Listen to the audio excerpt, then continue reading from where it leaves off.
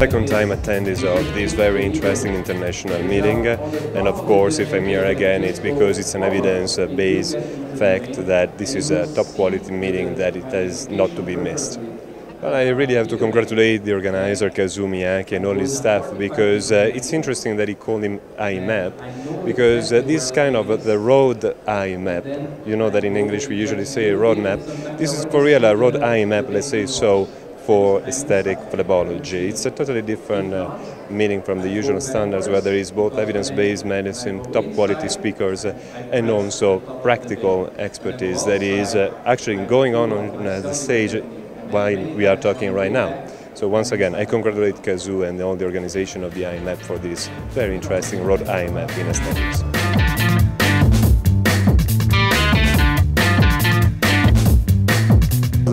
In 2017 on IMAP, so I was enjoyed it and uh, I won a prize, Hiroshi Miyake Award last that year and uh, as a winner I need to be here this year to uh, um, uh, make a presentation of my last year. I think it's one of the best congress of phlebology nowadays in uh, the world. You know, firstly, you can see that all audience is here sitting, and another. So, for example, in other conference, you can find empty rooms, you know, without participants. So, but here is everybody is here listening. So, I think it's quite important and a very uh, good uh, uh, scientific program.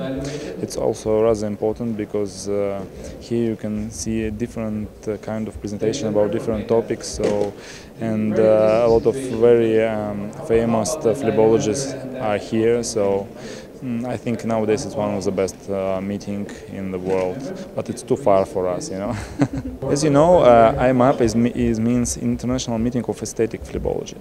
Here is only one meeting about aesthetic, but uh, aesthetic is also very, uh, but it's a lot of different themes here discussing, uh, not only aesthetic as hemodynamic and treatment of um, uh, superficial veins, which can be a reason of uh, ulcers and other things. But uh, here, the main idea is a meeting about aesthetics. And as you know, aesthetics can um, um, it's very important for a lot of people as uh, quality of life because if you have uh, good aesthetics your quality of life will be also better so and we cannot uh, see on patient only about his health we need also need to think about his mental health you know and aesthetics is very important for mental so and quality of life of people uh, with uh, beautiful legs also for women. So uh, becomes better after our treatment. So I think it's also very, very important. So and this meeting is a leader in this field in the world.